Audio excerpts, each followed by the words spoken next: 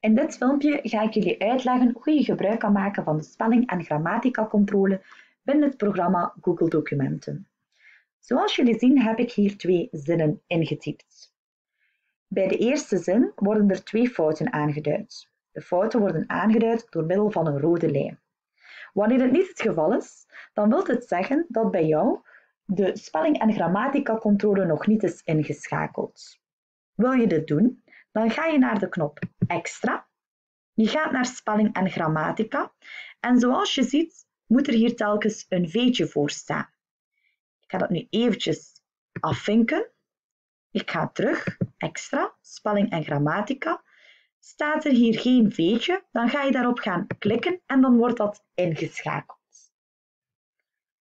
Wat doe je daarna? Dus we gaan terug naar extra spelling en grammatica, spelling en grammatica controle.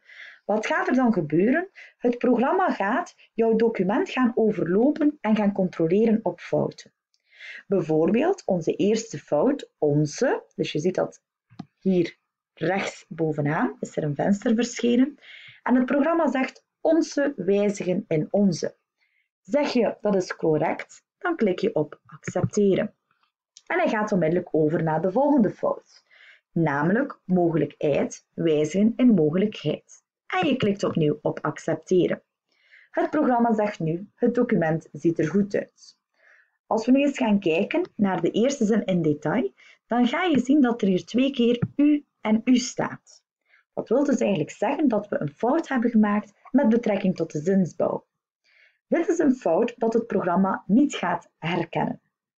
Verder kan het ook zijn dat het programma zegt dat Walid geen correct woord is. Het kan dus zijn dat hij bepaalde namen van leerlingen die in jouw klas zitten en die je dus regelmatig moet gaan gebruiken, dat die eigenlijk telkens als fout worden onderlijnd door het programma. Dan is er een oplossing, namelijk je gaat dat woord gaan toevoegen aan jouw persoonlijk woordenboek.